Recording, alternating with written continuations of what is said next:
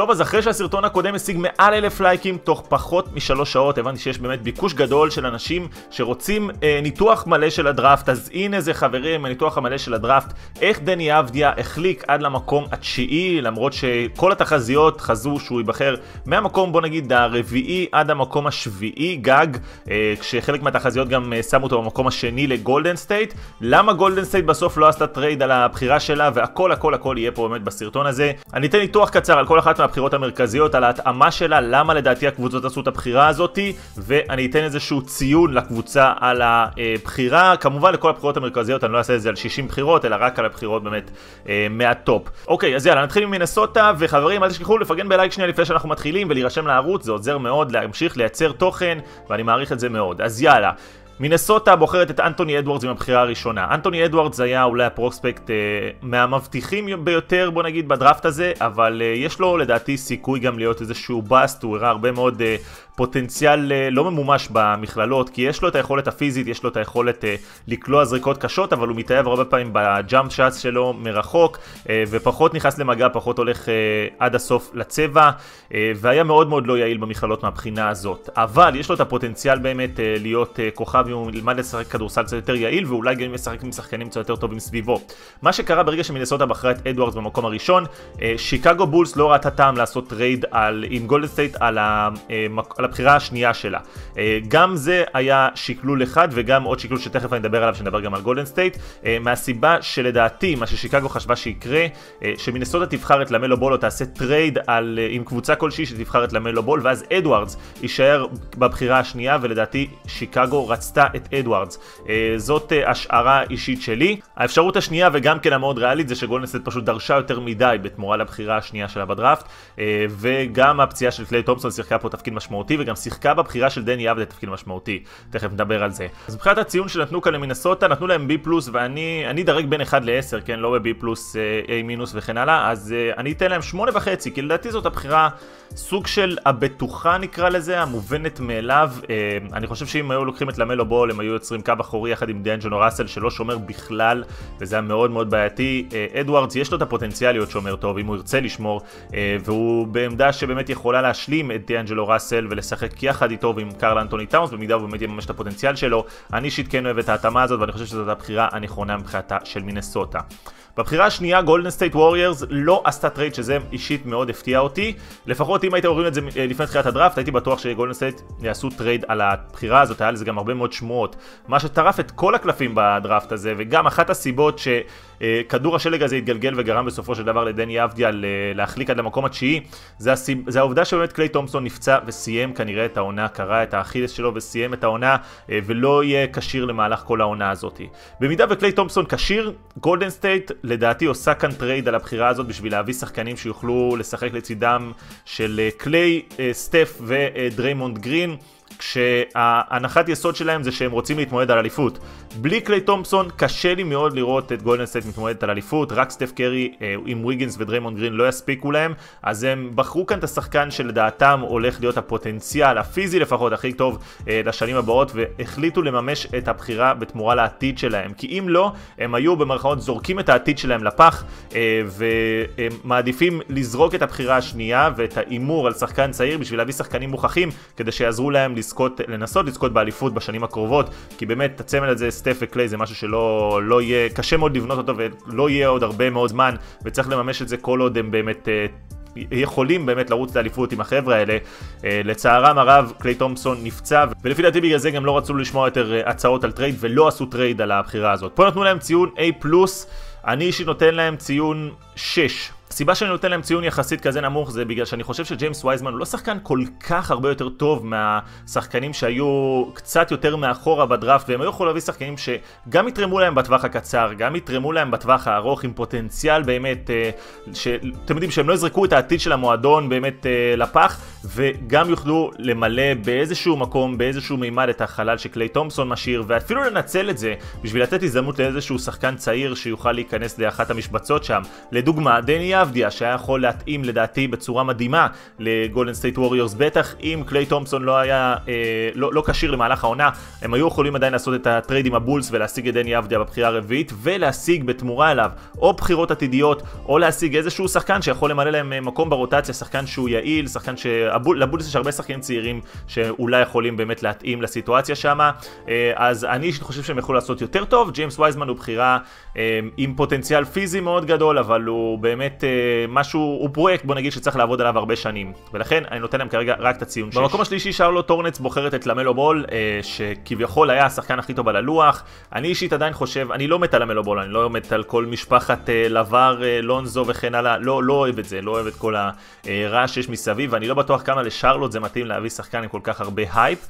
מצד שני, דווקא מקום שקט יחסית כמו שרלוט יכול לגרום לשחקן כמו למלו לפרוח. מבחינת מה שחסר לשרלוט, כן, חסר להם איזשהו גארד דינמי שיוכל לייצר אה, התקפה, כי ההתקפה שלהם למרות הפריחה של דבונטה גרם מאוד מאוד מוגבלת. דבונטה גרם הוא גארד עדיין אה, מאוד מאוד אה, נמוך, שבעיקר זורק הרבה מבחוץ, אבל לא באמת אה, מייצר הרבה התקפה אה, לשחקנים שסביבו, ועדיין ההתקפה של שרלוט מאוד מאוד לא יעילה.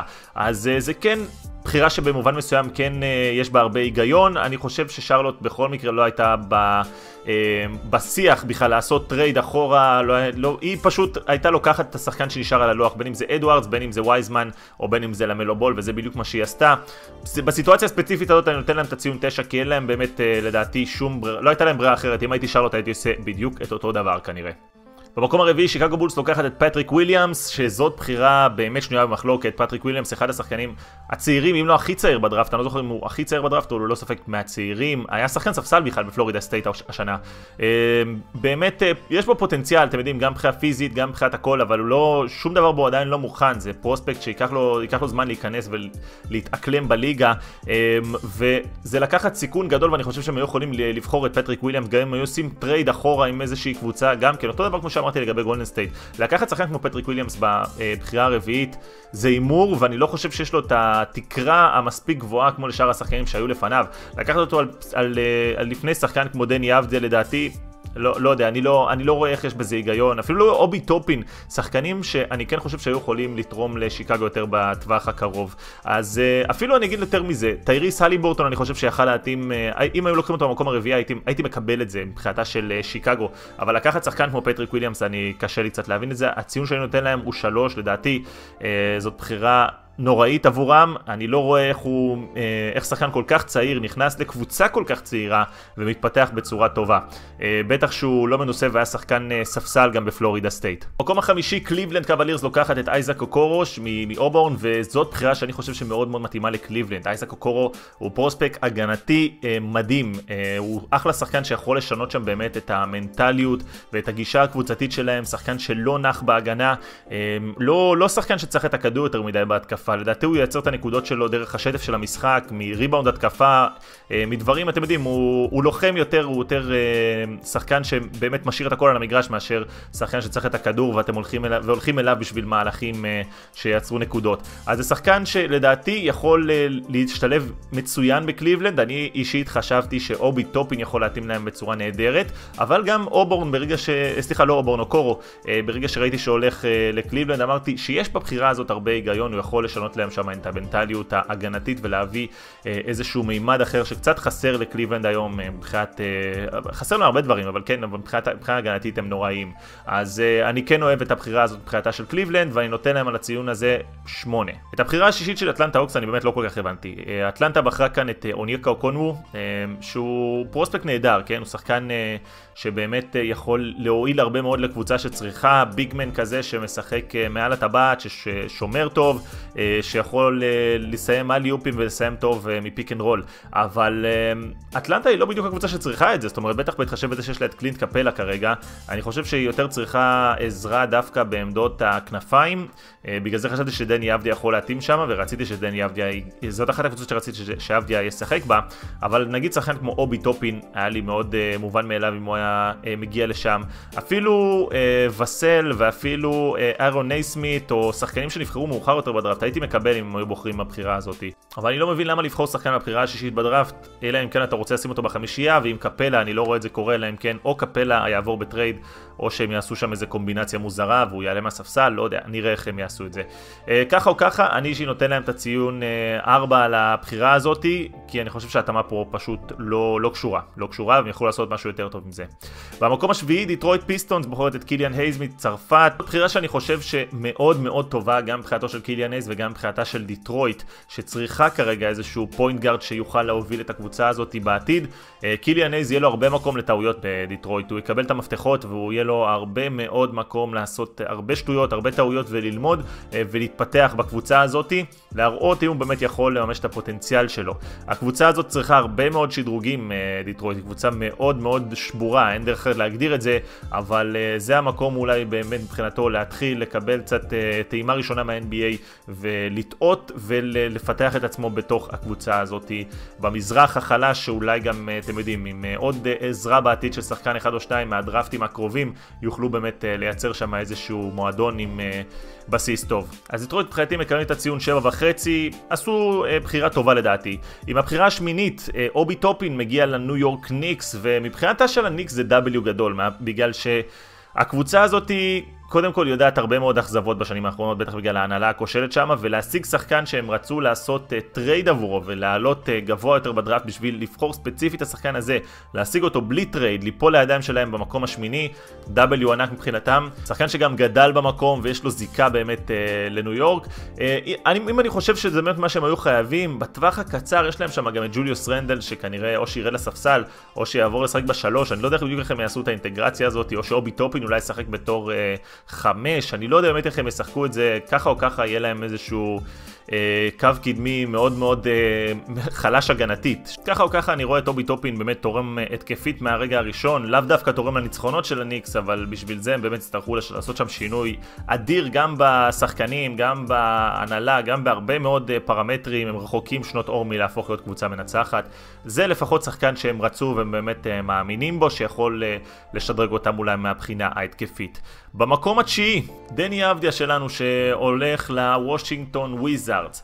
מבחינתם של הוויזארדס זה W עצום, לא רק גדול uh, כמו שהיה אצל הניקס, כי הוויזארדס לא חלמו בחלומות הכי פרועים שלהם שדני אבדיה ייפול עד המקום התשיעי. הסיבה שאני חושב שדני אבדיה נפל למקום התשיעי זה שקודם כל הרבה קבוצות לא חשבו, בטח באזור הזה, לא חשבו שיהיה להם אותו, אז הם ניסו לבחור לפי צורך ועשו ראיונות עם uh, שחקנים לפי צורך וכן הלאה.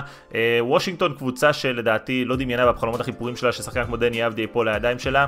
Uh, ברגע שקליי תומפסון נפצע ביום הדראפט, זה טרף את הקלפים לגמרי. זה גרם לגולדן לשמור את הבחירה שלה, לבחור את ג'יימס וייזמן, ומשם גל, כדור שלג אחד גדול שהתגלגל, וכל הקבוצות שכן היו נעולות על הפרוספקטים שהם רצו כבר, העדיפו לוותר על אבדיה ולקחת שחקנים שהם כבר כן חושבים שיוכלו לתרום להם בטווח הקצר, שהם עשו להם אה, אימונים, רעיונות אישיים וכן הלאה, דברים שהם מאוד משמעותיים, ואיכשהו דני אבדיה נפל בזכות הדבר הזה אה, עד למקום התשיעי. אז אה, בוא נגיד...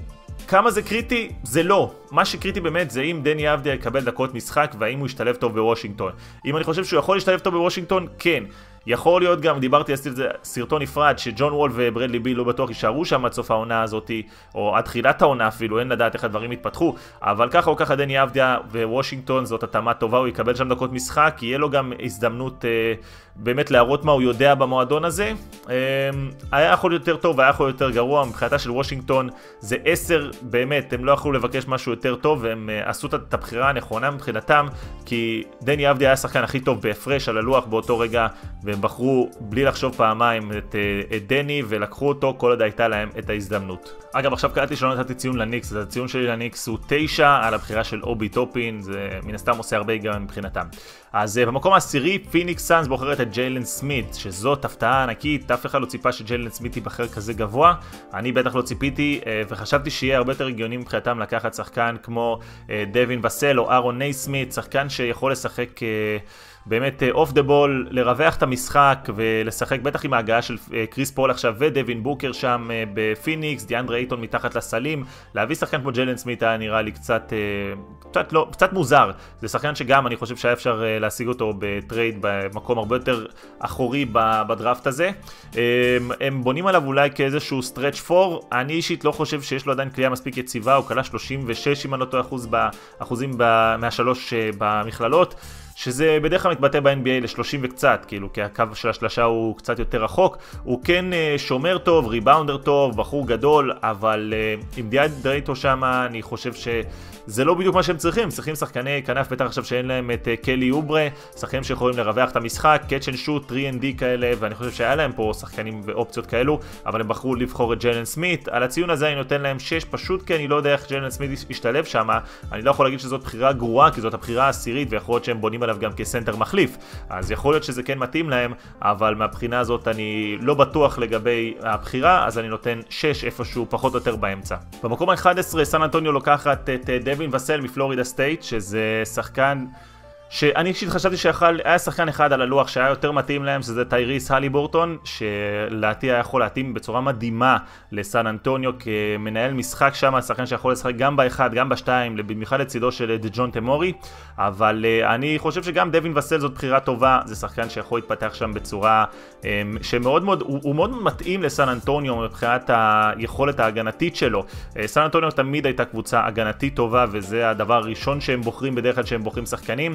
אז uh, היכולת שלו באמת יכולה לבוא לידי ביטוי בסן אנטוני בצורה טובה. גם טיירי סלי בורטון מבחינתי הייתה בחירה מצוינת עבורם, ואני רואה אותו כשחקן שכן משתלב בחמישייה כבר מתחילת העונה אם דה רוזן עוזב, כי השמועות הן שדה רוזן ואולדרידג' כרגע בדרך החוצה, וסן אנטוניו מנסה קצת לרענן את השורות, כי, כי מן הסתם דה רוזן ואולדרידג' הם אה, מאוד מאוד מבוגרים. על, הצ... על הבחירה הזאת אני נותן לסן אנטוניו את הציון 8.5, תמיד עושים בחירות טובות בדראפט, תמיד בוחרים באמת שחקנים שגם מתאימים, ואני חושב שמעבר מעבר לזה, אני יכול לדבר על זה גם כמה מילים בהמשך, הם עשו בחירה בסיבוב השני שהיא יכולה להיות מאוד מאוד underrated, את טריי אה, ג'ונס שהם הצליחו להביא אותו באמת אה, בבחירה בסיבוב שני שלדעתי גם כן ייכנס להם לתוך הרוטציה, שחקן שמתאים להם פיקס. הבחירה ה-12, סקרמנטו קינגס בוחרת את טייריס הליבורטון. זה אחד השחקנים שלדעתי היו הכי underrated בדראפט הזה, זה שחקן שבאמת יכול לעשות הכל מהכל, הוא פוינט גארד גבוה, 6-5, שזה מטר 96, אה, שיודע לקלוע, למסור, להגן, עושה באמת הכל. העניין איתו שהוא לא שחקן שהוא כל כך אסרטיבי במשחק שלו, זאת אומרת הוא לא מחפש לכפות על עצמו את המשחק, הוא לא מחפש את הנקודות שלו בכוח, אלא הוא משחק דרך השטף. להגיד עד כמה אני חושב שזה מתאים לסקרמנטו, אני לא. יכול להיות שהם רוצים אותו בתור שחקן second guard כזה לצידו של דיארון פוקס. אמ, אני לא יודע עד כמה באמת סקרמנטו יש לה את המנטליות בשביל להוציא את המקסימום משחקן כזה, ובמובן הזה קצת חבל לי אפילו על הליבורטון, כי אני חושב שהוא שחקן נהדר, אה, והוא יכול להתפספס שם. מצד שני הוא יכול לשנות להם גם את ה... אם הוא ינהל את המשחק ודיארון פוקס יתרכז בלתקוף יותר את הסל ולייצר נקודות בהתקפה, זה אולי יכול להיות משהו שאם ישחקו עם שני גארדים כאלה יכול לעבוד להם בצורה טובה. אה, בטח בהתחשב בזה שהוא גם גבוה, יכול לשמור וכן הלאה. בחירה מצוינת מבחינתה של סקרמנטו, לא בטוח שהיא כל כך מצוינת מבחינתה של הליבורטון, מבחינתו של הליבורטון, אה, שמבחינתי מקבל תשע וחצי על הבחירה הזאת, כי לדעתי הוא השחקן הכי טוב בדראפט, אולי אפילו עשר, אה, היה השחקן הכי טוב בדראפט שנשאר כרגע על הלוח, ואני הייתי קצת בהלם אפילו שהוא נשאר עד הבחירה ה-12, אז ככה שמבחינתי זה אפילו לא סימן שאלה למה לקחת אותו בבחירה הזאת, בחירה מצוינת מבחינתה של סקרמנטו. בבחירה ה-13 ניו אורלינס פליקנס בוחרת את אה, קירה לואיס ג'וניור, בחירה שיש בה המון המון היגיון מבחינתם, הם בדיוק אה, עשו טרייד על ג'רו הולידיי, יש להם את אריק בלדסו נכון וג'ורג' היל, אבל שניהם שחקנים כבר מבוגרים, שהם כנראה יחפשו או לעשות עליהם טרייד לאיזושהי קבוצה שרוצה להתמודד, או שהם פשוט רוצים לשים אותם בתור שחקנים מחליפים, שיוכלו לעשות מנטורשיפ כביכול לקירה uh, ג'וניור. אמ, ואני חושב שזאת בחירה מצוינת עבורם. הבחירה מצוינת בדיוק לעמדה שהם היו צריכים, ועל זה הם מקבלים תשע, ניתן להם תשע על, הדבר, על הבחירה הזאת, בחירה טובה עבורם, בחירה טובה ואני חושב שזה שחקן שהם כן היו, זה השחקן שהם היו צריכים לקחת, הוא יכול להתאים להם טוב, בטח בהתחשב בזה שהוא באמת מהיר כמו שד והוא יכול לייצר שם קבוצה אתלטית באמת ברמה פסיכית. אה, אז בבחירה 14 בוסטון סלטיקס לוקחת את אהרון נייסמית, אהרון נייסמית הוא היה אחד הקלעים היותר טובים במכללות, 52% הוא קלע מחוץ לקשת, אחרי שבעונה הראשונה שלו במכללות הוא קלע 30 ומשהו, זאת אומרת שדרוג משמעותי, אבל זה יכול להיות גם בגלל שהוא לא שיחק מספיק משחקים, הוא שיחק רק 14 משחקים, אם אני לא טועה, שנה שעברה בקולג'ים, אה, ויכול להיות שזה גם אה, דגימה קצת קטנה מדי שהעלתה לו את הערך לקראת ה... לקראת ה-NBA. אני חושב שהוא יודע, הוא יכול לקלוע ולרווח את המשחק. אני לא יודעת כמה הוא, ידע, הוא יכול לעשות את זה באופן רציף ב-NBA, אם כן זה יהיה מדהים. אם לא, זה יהיה בזבוז, כי הוא לא לדעתי כישרון ברמת הלוטרי, ואני חשבתי שדווקא יש יותר היגיון לבוסטון, בטח בהתחשב בזה שיש להם הרבה מאוד שחקנים בעמדות הכנפיים, ויש להם כמובן את טייטום ובראון שפותחים תמיד בעמדת, אה, בעמדות 2-3, אה, להביא שחקן שהוא, שהוא גבוה, שיש לו נוכחות בצבע, שחקן כמו אה, פרשס אצ'יורה. אני נותן להם על זה 6.5, יכול להיות שהוא כן שחקן באמת שיוכל לעלות מהספסל ולספק איזשהו ניצוץ, לספק נקודות, לתת את ה-15 דקות, 20 דקות אולי במשחק ובאמת להוסיף משהו. אני לא יודע, יכול להיות שכן, יכול להיות שלא, אה, ככה או ככה, אני, אני חושב שדווקא בסיטואציה הזאת הוא פחות התאים ספציפית לבוסטון. אה, מכאן והלאה, פה אנחנו נסיים את הלוטרים, מכאן והלאה אני אתן באמת איזושהי, ממש ציונים קצרים על שחקנים שאני מכיר ועל סיטואציות שאנחנו כן רוצים לדבר עליהם, ואני לא אכנס באמת לכל הפרטים כמו שנכנסתי בלוטרי. קול אנטוני, שחקן שהיה בפוטנציאל שלו אמור להיות בחירה הרבה יותר גבוהה בתחילת העונה, מגיע לאורלנדו, יכול לעשות שם דברים יפים, אני חושב שאורלנדו צריכה שחקן בעמדה הזאתי. אה, עוד שחקנים באמת לשים לב אליהם, עוד שחקנים שאני רוצה באמת אה, לשים עליהם את הדגש. דיטרויט פיסטונס, פה לדעתי עושה רכישה אדירה עם סדיק ביי, להשיג את סדיק ביי אה, בבחירה ה-19, לדעתי יש לו כישרון ששווה הרבה יותר מהבחירה ה-19, לדעתי חשבתי שהוא יסת... ייבחר בלוטרי ואני חושב שזה אחלה התאמה מבחינתה של דיטרויט. הם גם עשו טרייד במטרה באמת להשיג אותו, והם אה, שחררו את לוק קנארד ששיחק בעמדה הזאתי, אה, בשביל לפנות את המקום באמת לסדיק ביי. לדעתי הוא יכול לעשות בדיטרויט דברים ממש ממש יפים. ואני חושב שאם נסתכל על זה כמה שנים קדימה, יכול להיות שזאת תהיה אחת הבחירות שאנחנו נסתכל ולא להאמין שהשחקן הזה נבחר רק במקום ה-19. שחקן שיכול לתרום מיידית גם כן פרשס אצ'יואה שמצטרף למיאמי. הוא יכול להיות יופי של אה, סנטר מחליף, אה, אה, סנטר שיכול להחליף את באם אדבאיו, נותן להם הרבה מאוד נוכחות בצבע ושחקן מאוד מאוד אינטנסיבי ושוב, שחקן שלא צריך את ה... ששומר טוב וממשיך את המנטליות ואת הדרך, הצורת משחק של מיאמי, יכול להתאים שם ולעשות דברים יפים השנה. שוב, לא לספק מספרים מטורפים, אבל לתרום. אר.ג'יי המפטון, אני לא בטוח לגביו, הוא סקורר טוב, אבל שוב, זה סוג שונה של אולי אולי למלו בול, אה, גם כן לא כל כך אפקטיבי, ויכול להיות שזה יהיה שחקן גם כן שבעתיד אנחנו נסתכל עליו ולא נאמין שהוא הגיע במקום ה-24, יכול להיות גם שאנחנו נסתכל על זה ונגיד אה, שאנחנו לא זוכרים מי הוא בכלל. במקום ה-30, מימפיס גריזיז לוקחת את דזמונד ביין, שחקן שהיה, הוא היה הקלעי הכי טוב שהיה בלוח באותו, באותו רגע, ומבחינתה של ממפיס שלא בחרה אף בחירה עד האזור הזה, היא לקחה שחקן שיש לו פוטנציאל לתרום גם כן במיידית לממפיס, uh, ושחקן שיכול להשתלב טוב מאוד עם. הנוכחות האדירה של ג'ה מורנט אה, ולרווח את המשחק וזה יכול להתאים להם בצורה נהדרת. גם יכול להיות שחקן שהוא underrated שאנחנו נמצא אותו עוד כמה שנים ולא נאמין שהוא נבחר בבחירה ה-30 כי הוא מגיע לסיטואציה שהיא טובה עבורו. Um, עוד שחקנים שבאמת יכולים לעשות uh, אולי איזושהי השפעה טובה, תיאו מלדון יכול להתפתח יפה באמת באוקלאומה סיטי, אממ, זה יכול להיות בחירה ש... בוא נגיד שלפני העונה אף אחד לא חשב שהוא יגיע בכלל להיות שחקן סיבוב שני, אז להביא אותו בסיבוב השני, בחירה 34 זה אה, W מבחינתה של אה, אוקלהומה. עוד שחקנים, טרי, ג'ו, טרי ג'ונס, שחקן עם נוכחות אדירה בהגנה, דיברתי על זה לפני כן, על ההתאמה שלו לסן אנטוניו. אה, יכול להיות שזה שחקן גם כן שיתרום, בטח סן אנטוניו שיודעת לפתח שחקנים כאלה ובאמת לנצל את הפוטנציאל הנהדר שלהם.